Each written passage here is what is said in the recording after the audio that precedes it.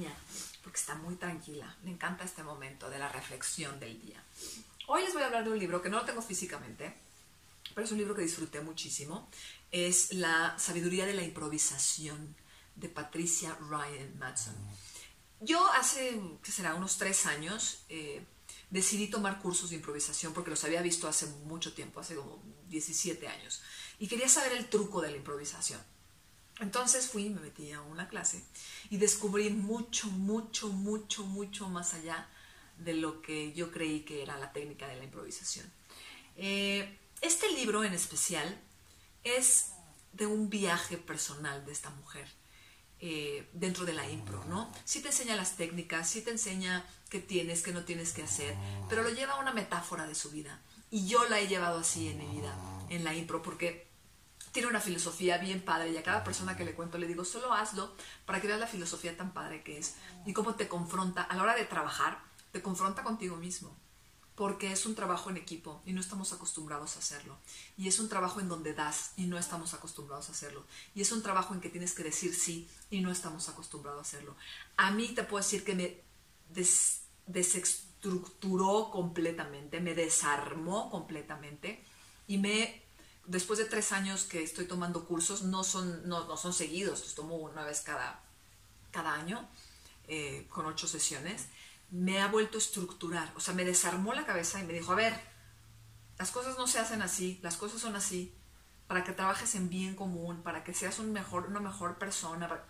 Y fue así de, ay, les cuento todo esto para poderles explicar qué, qué es la filosofía de la impro y una de las máximas máximas, porque te dicen que no hay reglas, pero sí hay reglas, pero no hay reglas, pero sí hay reglas. Sí hay una técnica, como en todo.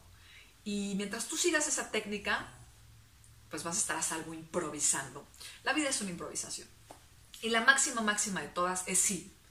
Sí, sí, sí, porque si no bloqueas y ya no pasa nada. Y eso pasa en la vida. Si yo no acepto una propuesta de salir con alguien, pues probablemente me pueda perder de una buena cita o de una aventura, ¿no? Entonces, siempre estamos bloqueando a la gente. Y si alguien te bloquea y te dice, no, pues ya no se hizo impro, ya valió, ¿eh? O sea, esa es la máxima uno, aceptar la propuesta del otro. Y en la vida, si uno se dice sí a la vida y se abre al sí al, positivo, al positivismo y se abre al sí a, a la propuesta del otro, la vida te va a cambiar, ¿no?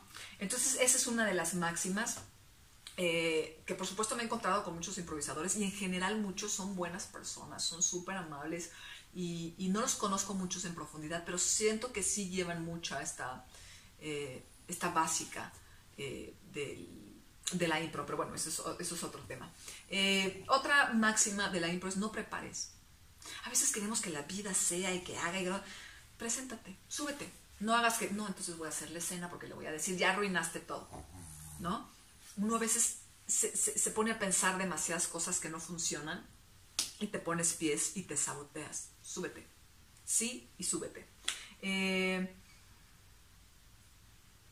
y dentro de eso, abre los ojos a los regalos. Siempre estamos cerrados al no, al miedo, y el otro siempre te va a dar algo en, esa no preparación. Eh, solo preséntate, no prepares, ¿no? Esas perdón, las, las hice juntas, pero es su, preséntate y no prepares nada lo que vayas a hacer, solo súbete. La cuarta sería, empieza donde sea. A veces uno quiere decir, yo ya soy, por ejemplo, los actores, ¿no? Que dice, yo ya tengo una carrera y yo la verdad todos los días empiezo. Con un nuevo proyecto, con nada, con una tocar puerta, con mandar un mail, con hablar por teléfono, eh, con un nuevo casting. Todos los días empiezo. Empieza de donde sea, ¿no? Y eso te va a hacer la vida más fácil, porque a veces uno dice, yo ya logré esto y se derrumba y, mm, todos los días. Empieza con algo y este, te va a llevar a un mejor camino, a mi manera de ver.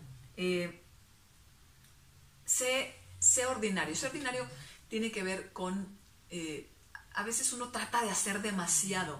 Y si uno es obvio, no ordinario, más bien uno, uno obvio, la gente se va a identificar mejor con tus ideas.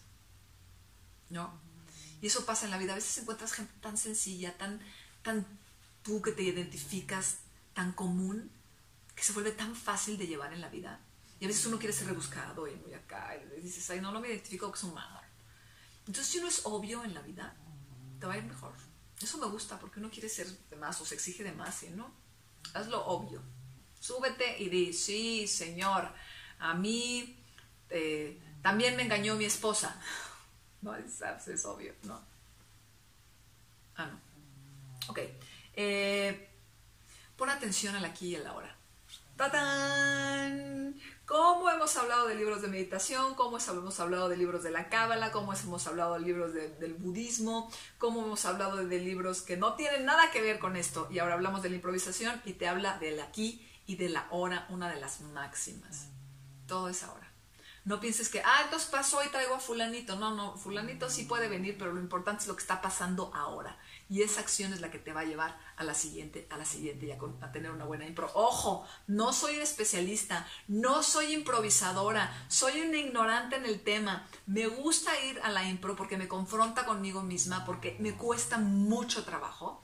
Y creo que de las cosas que uno tiene que seguir haciendo es uno, seguir estudiando y preparándose y dos, hacer cosas que te cuesten trabajo. Porque para mí era una clase de actuación sería como mm, involucrarme lo mismo, mi zona de confort, sé dónde estoy y aquí es una clase en donde me parto en dos, no entiendo nada, dan las indicaciones y yo digo qué quiso decir, ya me perdí, ya me fui porque no estuve aquí poniendo la atención al profesor, ¿no? Entonces es una clase muy difícil, a veces llego a salir con dolor de cabeza porque es poner atención durante tres horas y ya no estamos acostumbrados y es padrísimo. Aquí y ahora y eh, a los hechos, a lo que esté sucediendo. Generalmente sucede algo y uno corre y va y aquí es el monstruo. O sea, aquí llega alguien y, tienes que enfrentarte a, sí, nos van a matar. Y no es de, ah, no, a ver, que nos maten y a ver qué pasa, ¿no?